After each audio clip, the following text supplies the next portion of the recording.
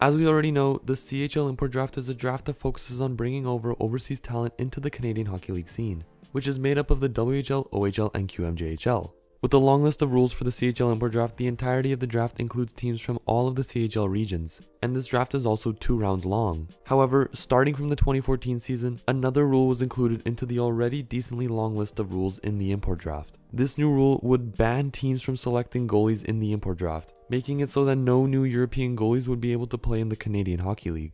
This rule was made by the CHL's board of directors in an effort to further develop Canadian goaltending by increasing the number of opportunities that these goalies would get. This rule was etched during a time when Canadian goaltending wasn't looking that great overall levels. In fact, all three Vezina Trophy finalists that year were Europeans for the first time ever.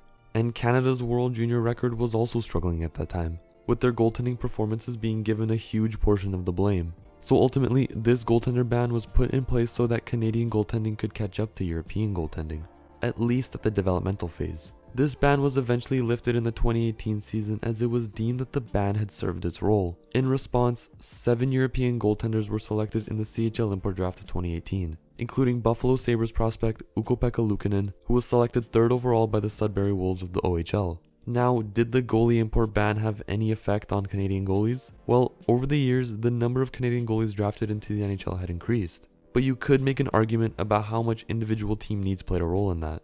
The rule would end up hurting European goalies from smaller markets though, because those places wouldn't attract as much NHL interest, meaning that Swedish and Finnish goalies would still continue to develop well at home with continued interest from NHL scouts, since those are considered bigger markets. Was the goalie ban fair? Probably not.